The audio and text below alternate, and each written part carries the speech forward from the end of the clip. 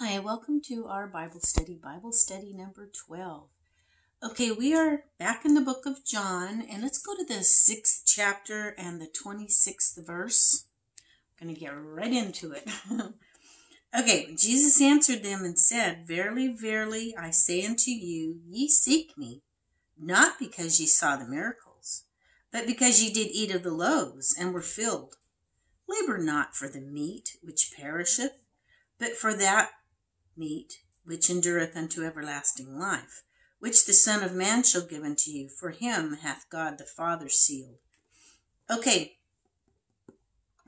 we've talked about the water and how what it represented in another Bible study. Now let's look at the meat, almost the same thing. Um, they were following him because they'd get something out of it. Basically, they were looking for the the bread, the meat, the the something to eat. Okay, and he's saying, don't work for the meat that's going to perish. I mean, yeah, in other places they say we need to work with our hands. That's not what he's talking, you know, that's not what he's talking about. Um, he's saying that's not the important thing. Let's focus on not on working on what's going to just pass away. If you put your all into that, you're missing something. There's something else besides the food that nourishes this body that's going to perish, okay? Labor not for the meat which perisheth, but for the meat which endureth unto everlasting life. There's something else you can get. The, you ever heard somebody say, get down to the meat of the word or what the, the real stuff is, you know? Okay, we always think physical because that's all we know, basically. we're born into this physical life. Um, and that's what we understand. But there's something else. There's a spiritual side, and that's where real life is at. This is fleeting. This life is very fleeting. We really need to think about eternal life and what's going to last eternally, not just in this physical life that we have here.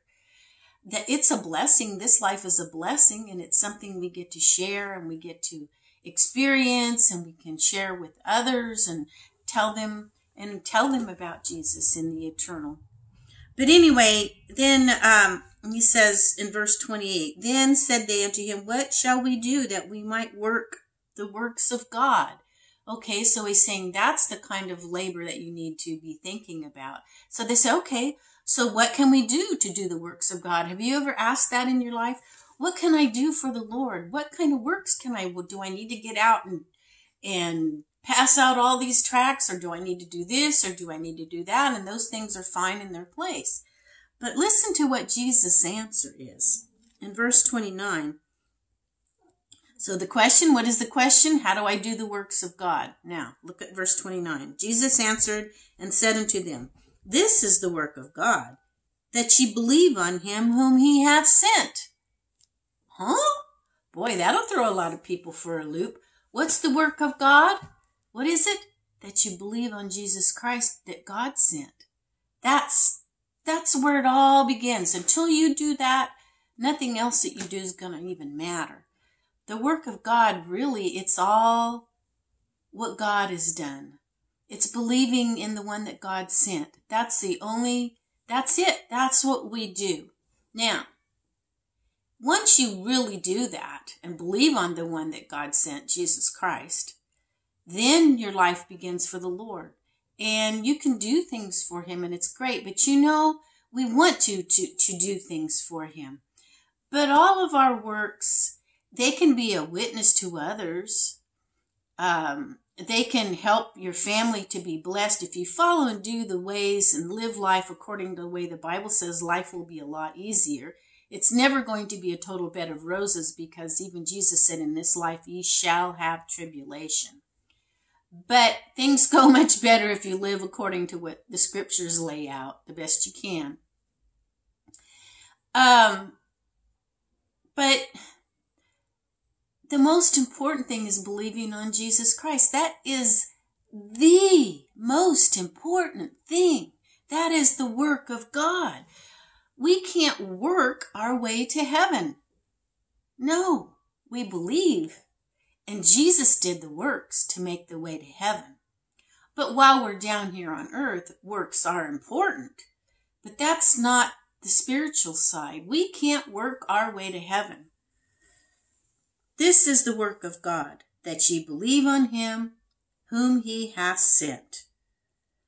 So that's really something that um, I think that we need to think about because a lot of people in this world are teaching just the opposite.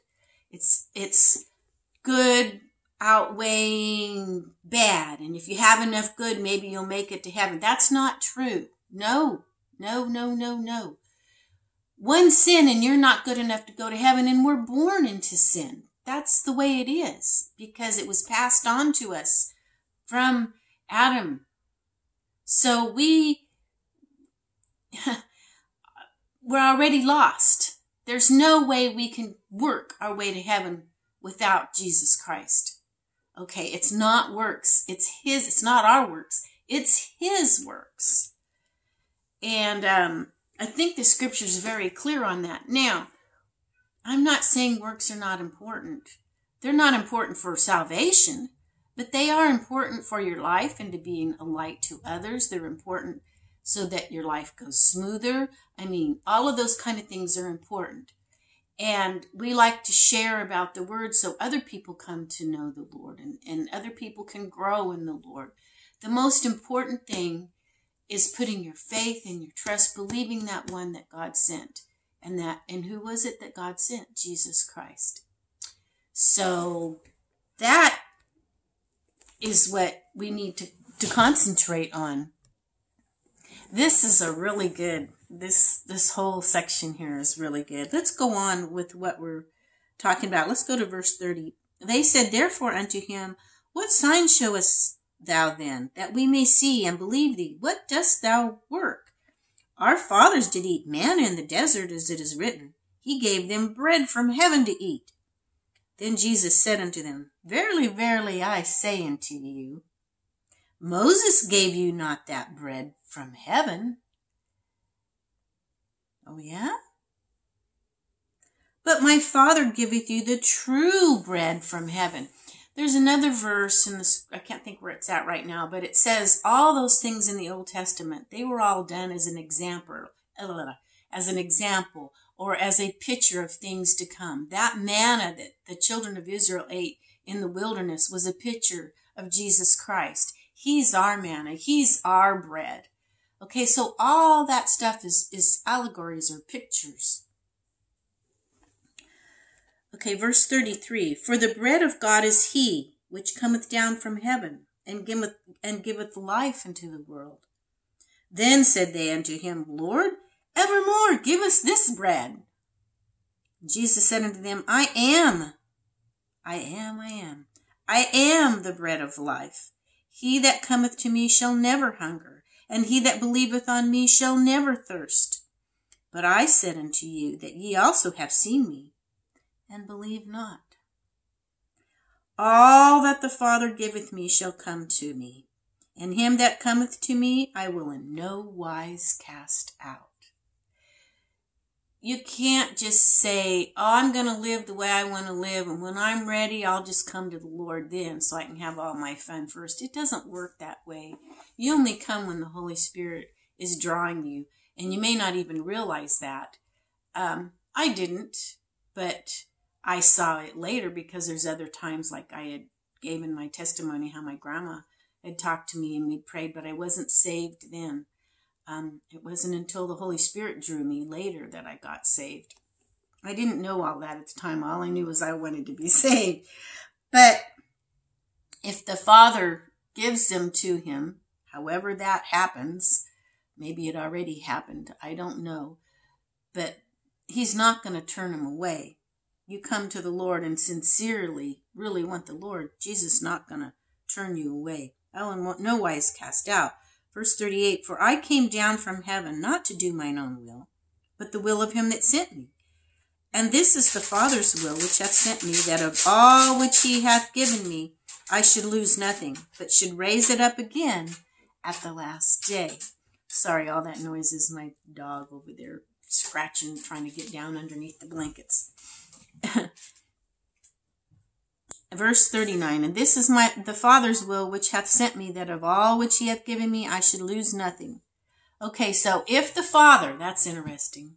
Somebody was just talking to me this morning. I think they were trying to show me that you could lose your salvation.